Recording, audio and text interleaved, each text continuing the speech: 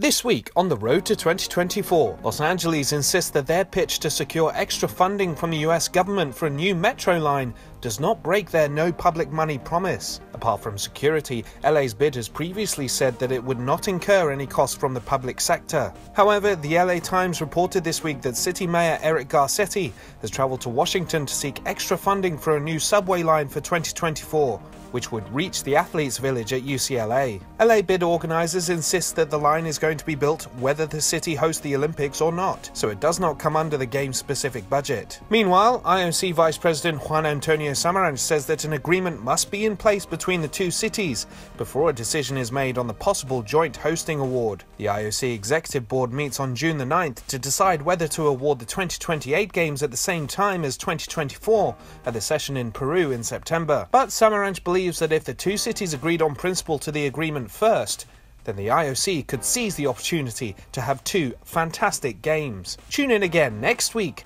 for more news on the road to 2024 here on iSport Connect TV.